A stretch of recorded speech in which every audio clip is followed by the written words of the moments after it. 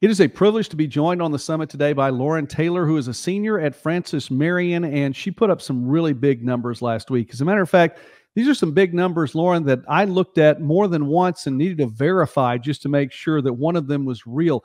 A win over North Greenville, 85 62. Those aren't the numbers. Your double double, though, that was the number right there. 34 points, pretty big night. 44 rebounds in a win. So I I just love to hear what you think about that. I, am sure you knew it was going to be a big night, but what did you think and and uh, what did you put together when when someone told you, "Hey, you have 44 rebounds tonight"? Um, in the moment, it didn't really feel like much. I was just playing my game. Um, I was really concerned about winning. We're in the middle of conference play, so right now every win counts. So in the middle of the game, just doing what I can do to make sure my team comes out with the dub. But after I realized that I was pretty high in uh, rebounds um, in the middle of the game, I had a lot of people in the crowd chanting numbers and counting as I go along. Um, and then when I realized I was in the 40s, it's like, oh, okay, like I already beat the school record. Just just add it to the resume. And then at the end of the game is when I found out that I ended up with 44, and that's when I found out it was the national record. So then that's when I really got excited and was in a state of shock. But in the moment, it didn't really feel like much. But of course, afterwards, I was really excited for it. Yeah, that that is it's a huge number, and again, it, it almost doesn't look real. I I, I had I wanted to I, as a as a good journalist, you you need to get a second source, and I definitely wanted a second source on that one just to make sure that's real. Record for the NCAA, not just Division two, but all divisions in the NCAA. Talk about that, and and again, you you mentioned it too. It, it it's a big deal.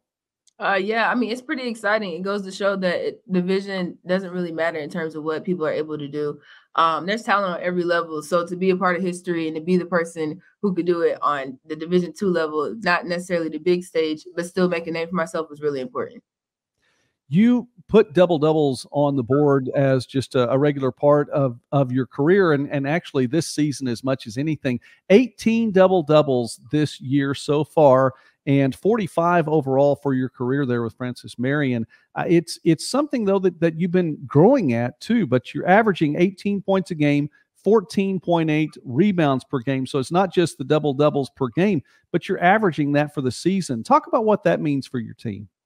Um, so actually that's always just been something that I've always been interested in is double doubles. So not because of the scoring aspect, but it shows that I can do more than just score. Um, so I was taking pride in rebounding this year and finding ways to be beneficial to my team.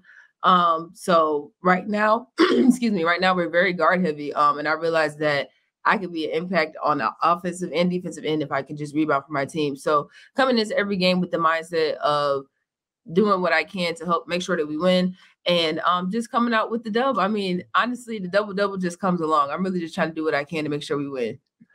Well, I appreciate that. I appreciate the humility in that and the and the team mm-hmm. aspect too. But uh, I'm I'm enjoying talking about the numbers right now, and there are some big numbers. We're visiting now with Lauryn Taylor here on the summit, and I encourage you please continue to enjoy the videos here. We talk about small college sports and more throughout the Midwest and beyond. And visiting now, Lauryn, the, your numbers along with those W's have, have gone up as as you have spent time there at Francis Marion. And so scoring numbers have gone up year by year, rebounding numbers uh, at their highest ever. What what kind of work have you put into it now then to to build on that? As you've mentioned, rebounding is important. Um, so a lot of it started off the court. Um, I just had to change my mindset and realize that although I've always been pretty good here, there's always room for growth. Um, this past summer, I was focused a lot on the health aspect of it all. I lost some weight, um, got healthier, took care of my body more so that I'm able to move better on the court. Um, which you can see now in the numbers uh, in terms of rebounding. Um, I think I'm like eight or nine rebounds more in this average than I was last year. So I'm just trying to get my body together, get my mind together, um, and just shift my mindset. Um, just continue to grow as I get older because I do realize that my years in college are dwindling down, but that doesn't mean I have to become complacent. So I just keep working every day, finding different ways to be better, and that's really it. Well, I also appreciate that aspect of it too. I, I, it's it would be nice, I'm sure, to get to play forever. They give you a limited time, but in that right. amount of time, you're at 959 for rebounds for your career. So you're headed toward another milestone. Uh, I would imagine that might mean something too. You're headed for a thousand, and if you keep up at the pace you're you're going right now, I mean, you, are going to hit that just staying with your average. Yeah. So actually, I'm actually very excited about that. I kind of think that would probably be my favorite um, accolade in my entire college career because when I actually was in high school, had the chance to get a thousand rebounds in high school and had a uh, surgery in the middle of my senior season that kept me from getting a thousand rebounds, and it's always followed me since then. Um, so I'm just excited to have the opportunity to finally attempt to get it. Um, no pressure or anything, but yeah, it's just it's just something I'm really excited for. It goes to show my hard work over the uh, few years that I've been here, and just continue to work towards it. And then even once that record's broken, um, the work here is not done. We got to see what we can do after that.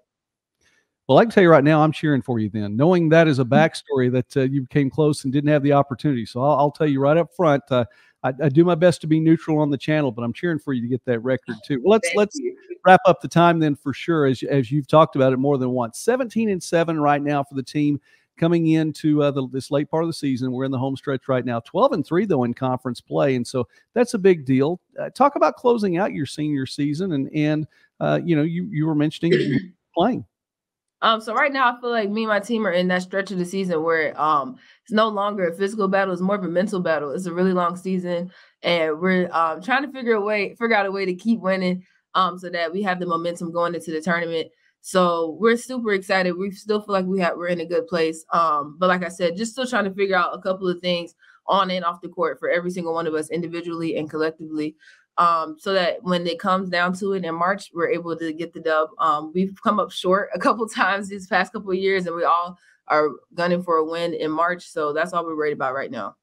All right, Lauryn Taylor from Francis Marion and the Patriots on a roll as the season is winding down. And uh, Lauryn, again, 44 rebounds, a a national record in the NCAA regardless of division, definitely a Division two record as well. And uh, by the way, as of this recording, uh, the Player of the Week hasn't been recognized for National Player of the Week. It's it's an honor that you've had a couple of times before, including already this season. I I would imagine this has to be, and if you'll pardon the sports analogy, the easiest slam dunk that uh, the Division two uh, CIDA would ever ever come about in National Player of the Week. Hope you get that honor as well. But thank you so much for taking time with us here on the summit and uh, let the rest of your season go well. We're, we're looking forward to seeing how it turns out. All right. Thank you so much. I really appreciate all the support.